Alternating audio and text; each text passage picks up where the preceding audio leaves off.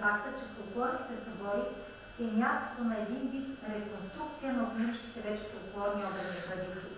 В този смисъл те са високо оценени оценка на времето, като съхраняващи паметта като национална гордост.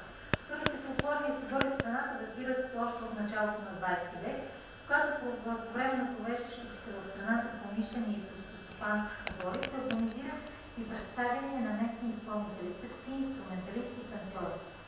Първият организиран фолклорен събор в страната е проведен през 60-та година събор за Китово, който е организиран от Министерството на образованието и културата и община Малко Търно.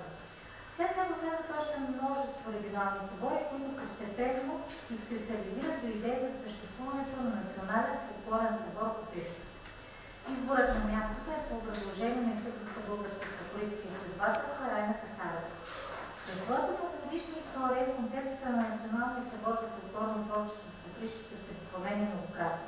Въпреки това, основните идеи на събора са представяне на автентичния български фолклор, популяризиране на българския фолклор, издирване и записване на българските фолклорни образци.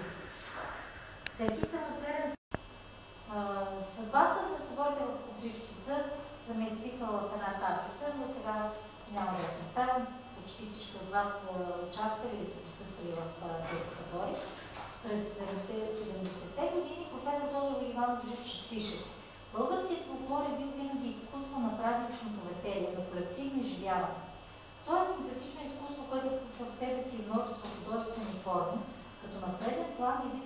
и танц.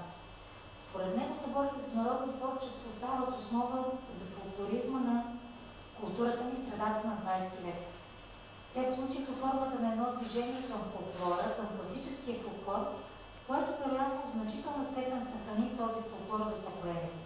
Тези събори се появиха като една обективна потребност, предимно за онези поколения, за които класическият фолклор бе основното